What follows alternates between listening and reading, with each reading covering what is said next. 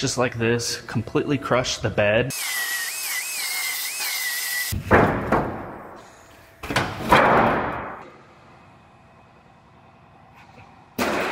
I am down here in our aluminum shop and I have one of the aluminum F-150s here. This one had a tree fall on it, just like this, completely crushed the bed.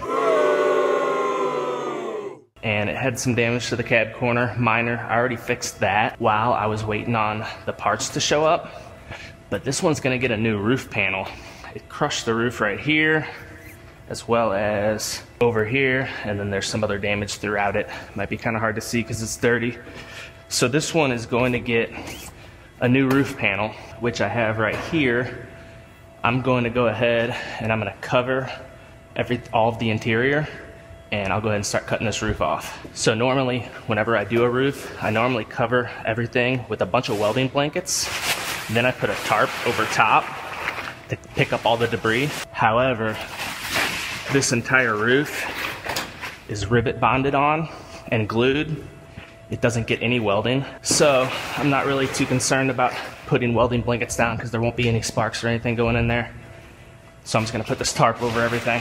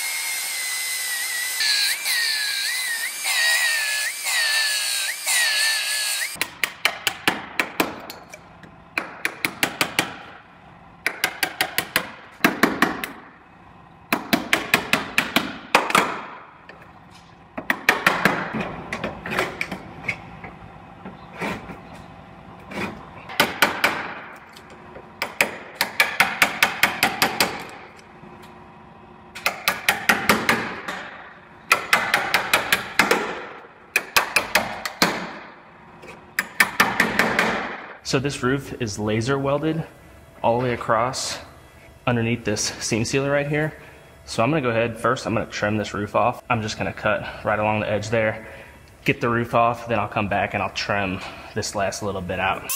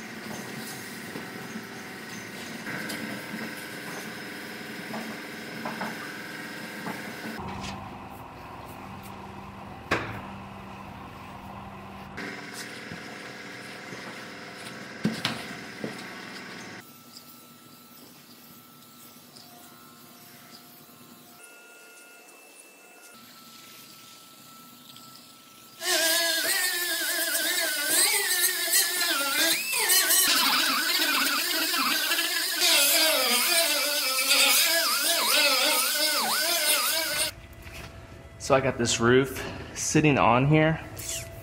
I wanted to make sure it fit properly, make sure it sits and everything looks correct, which it does. Sits nice and flush.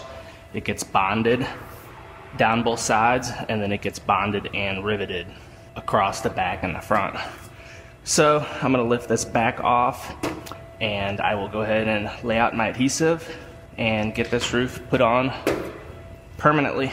Before I lift it off, I'm going through real quick and I'm marking where the old rivets were because I have to put the new ones next to those. So it just makes things a little easier whenever this roof goes back on, whenever I start riveting. So I know where these are.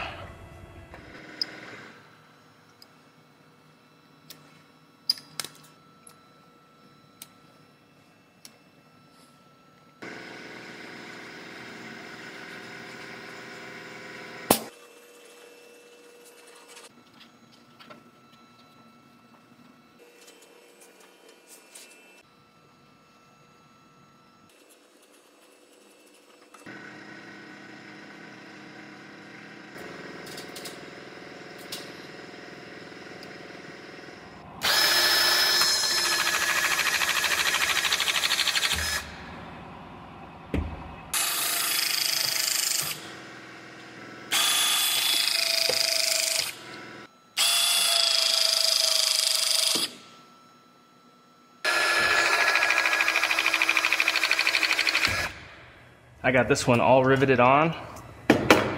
I'm gonna go ahead and let this one sit and let the glue dry and I'll get back on it later. I am back onto this F-150. All the glue is dry. I'm gonna go ahead, I'm gonna clean up all the excess glue that oozed out all the way around. Then I'm going to mix up some epoxy primer. And I'm gonna put epoxy primer down where the windshield and back glass urethane goes. And I'm also gonna put epoxy primer down anywhere on bare metal down both sides. And then once that's dry, I have to seam seal this all the way across. And I have to use a self-leveling seam sealer that will kind of fill in this channel. I'll show you guys that whenever I get to it.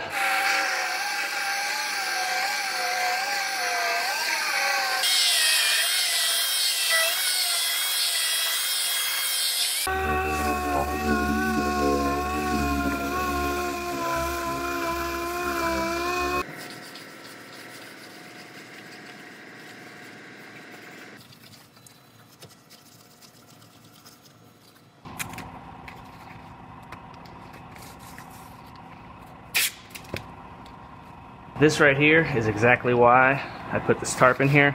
Now I'll be able to fold the tarp closed, pull it out of the truck, and it'll keep from getting all that shit inside the truck.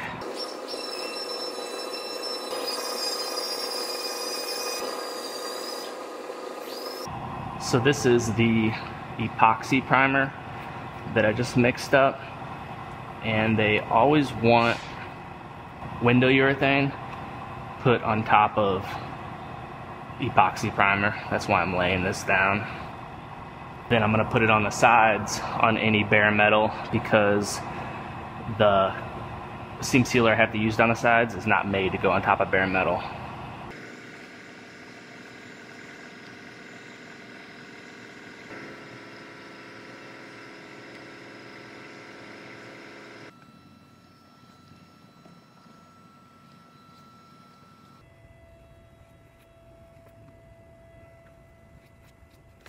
Now, I have some self-leveling seam sealer here.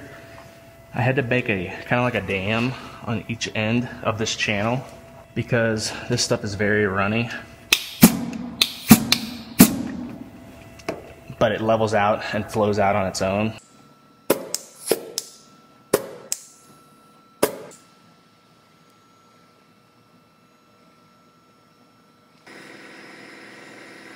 Now on this front corner, since it's sloped quite a bit, I have to actually keep on pulling it back up because it all wants to run down. So luckily this stuff sets up pretty quick. So it just takes a couple minutes and then I'll see this stuff start to start to get hard. And at that point it'll kind of stay up where I want it once it starts to get a little thicker.